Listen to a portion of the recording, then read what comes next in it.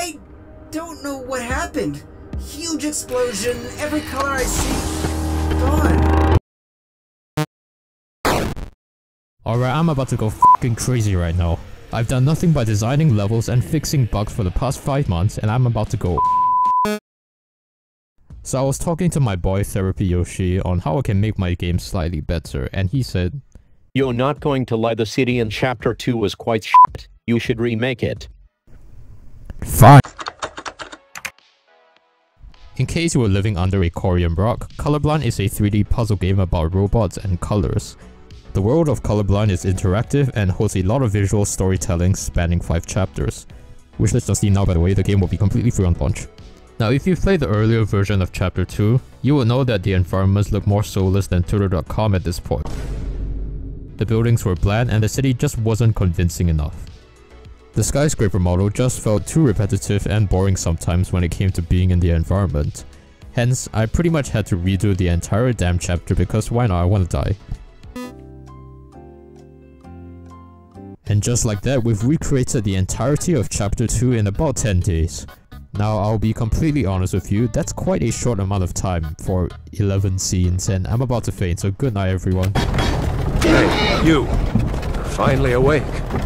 In my opinion, the city is much more convincing and the open world aspect should be much greater than before. The same couldn't be said about me. Now if you've watched my previous devlogs, Colorblind borrows a heavy inspiration from Half-Life 2, which is in my opinion the best FPS game in gaming history. And part of what makes Half-Life 2 so special was the interactivity of the entire world. For instance, you could try interacting with various mechanisms that would be interactable in real life such as this vending machine. And this vending machine actually does dispense soda. This is great for storytelling because it is later revealed that the soda actually has some nasty chemicals inside that are used to brainwash the citizens. This type of storytelling really goes to show how much attention to detail was put into this game. Hence, I also wanted to expand the world building of Colorblind in this same way. Now if you've played the demo, you will know that these cubes are called Corium. Corium basically acts as a power source of the entire world and powers most of the machinery in the game.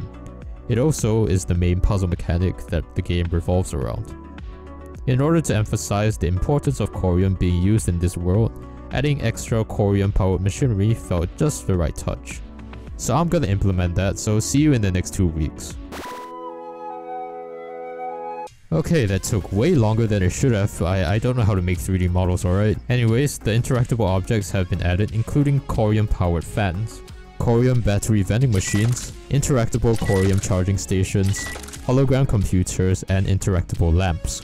And these Corium powered machines are actually extremely easy to spot because Corium is the only colored object in the entire game. Anyways, that's done, so I, I'm gonna... Hey, you! Finally awake. Hey, it's me again. So apparently something happened to me last night and here's some footage. Oh boy, I can't wait to eat breakfast.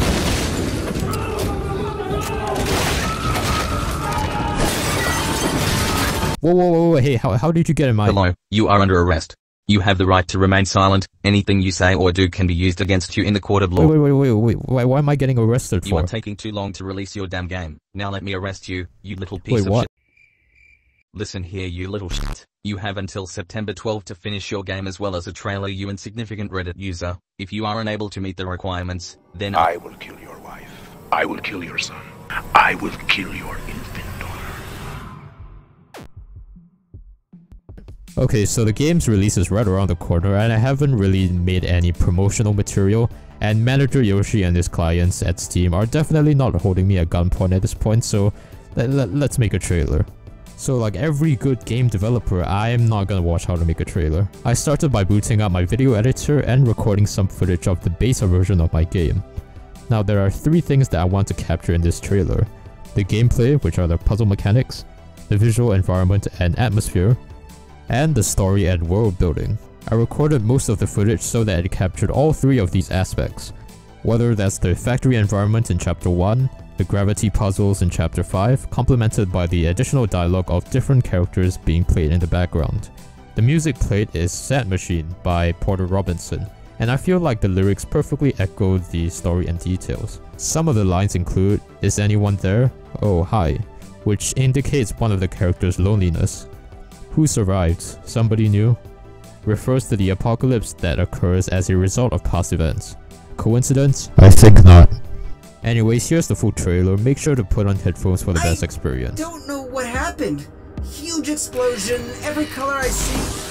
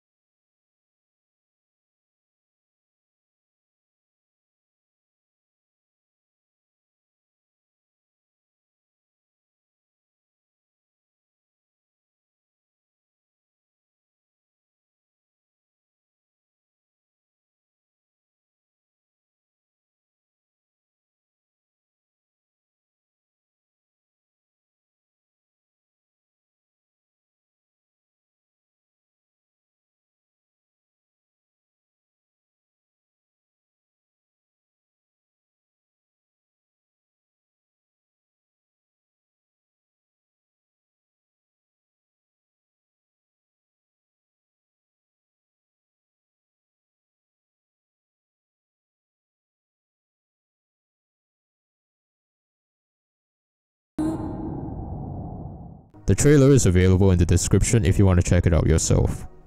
Be sure to wishlist Colorblind on Steam, the game will be completely free on launch.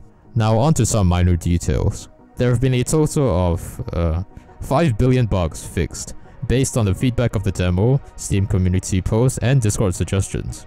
Some bugs included a duplication glitch of the Corium cube, and some hitboxes that didn't register, as well as some minor adjustments such as the removal of some unused shadows that were pretty much destroying the GPU.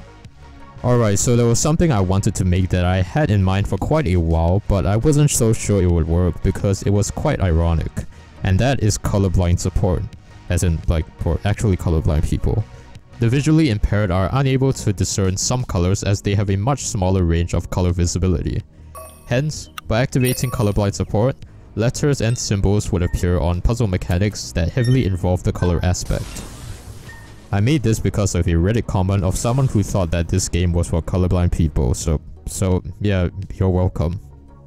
Anyways, now that the core gameplay along with a few extra details are complete, it is time to move into the beta testing phase.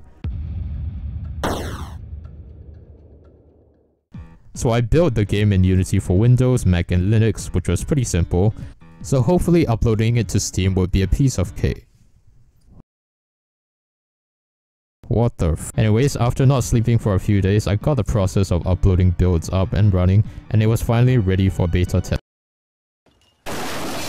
So apparently there were some options I promised that I did not add, such as Steam leaderboards. So in response, I told Steam give me like one year and added a leaderboard system where the faster time records for completing colorblind are shown. I can't wait to see how fast y'all are at speedrunning, so I give you a challenge. The fastest time to complete the entirety of Colorblind will be given the title of uh, Legendary Alpha Male Gamer, and you'll get a shoutout as well. So if you're an Alpha Male Gamer, join the Discord server uh, or, or something, and by the end of October, I will see who is the fastest Epic Alpha Male Gamer speedrunner. I'll call it the Colorblind Alpha Gamer Speedrun Tournament. CAGST for short. So join the Discord now, gamer. Anyways, once the build was done, Steam finally approved of my game and I was free to hand out early access copies of the game to my beta testers, which means more bugs to fix. Overall progress has been massive over the last few weeks and I pretty much have everything just about ready to go. The game will be available on Steam and itch.io for Windows, Mac OS, and Linux. Currently for consoles, I have no plans, but if the game becomes successful enough, who knows, maybe I might port to consoles. So if you want to see that happen, become an epic alpha male gamer and smash subscribe, wishlist colorblind on Steam and buy the OST on Steam for a measly $3. Random shoutout time, drumroll please. Shoutout to Zed Sheeper for being an epic alpha male gamer. If you want a shoutout, don't be afraid to let me know what you think of the game or the video in the comments. Thanks for watching and I, I don't know how to end this video so just